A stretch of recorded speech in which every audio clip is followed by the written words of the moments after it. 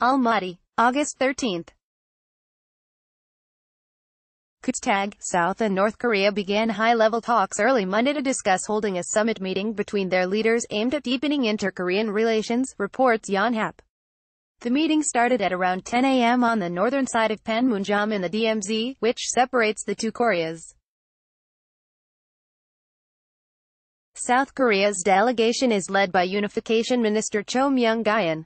His North Korean counterpart is Ri Son Gwon, chairman of the Committee for the Peaceful Reunification of the country.